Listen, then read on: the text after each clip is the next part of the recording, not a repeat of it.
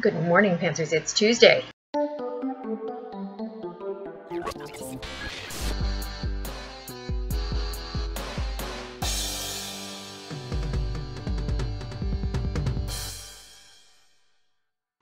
tea is really hot.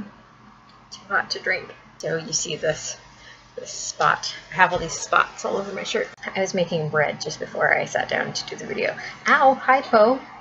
Don't poke me. I'm sorry I'm not paying attention to you. Poe is sitting next to me and would like to be petted right now. What was I saying? I was making bread. Um, I am making kefir bread. Uh, allegedly, you can make bread with kefir instead of yeast, um, which I have not tried before. And I'm not sure how it's going to work out, but we'll see. Um, anyway, I splashed myself with oil because I'm, you know, not a klutz at all. I hope I can get it out of the shirt. Oh, my tea is still too hot. So the project for Awesome was this weekend. Uh, the Indiegogo just ended, like just a little bit before I started to make this video, and um, the total is like two million twenty-seven thousand something something, nine hundred and ten dollars or something. Anyway, it's over two million, so like go Nerdfighteria. I don't know if you guys watched the live stream. I didn't see any of you in the chat if you were there participating, um, but I suppose it's possible that you could have been there during the brief moments that I wasn't there. I was moderating. I don't know if I, I can't remember if I told you guys about this. I probably did. I'm sure that I did back when it first happened. I have mod powers on the Vlogbrothers channel because Hank asked for volunteers like a year and a half ago uh, when he made his Black Lives Matter video. So yesterday, after you know everything was over, and I had gotten some sleep and whatever, I went through and like tried to figure it out, and I figure approximately, approximately, um, my first shift was like a 17-hour shift, and my second shift, um, if you include the like two hours that I spent um, afterwards trying to shut down the chat until I like I literally fell asleep in my chair. Oops. Um, if you include that, it's like about 21 hours, I think. So, uh, I mean, once I like thought about it, I was like, oh, that's why I was so tired by the end. But it was good fun. I mean, I, I really enjoyed it. I'm glad that I did it. Um, next year, I'm going to try to start from the beginning because I missed like the first like four hours of the live, live stream. Live stream?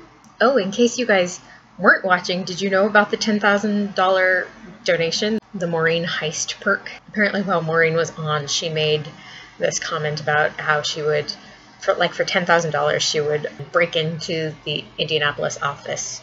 Office.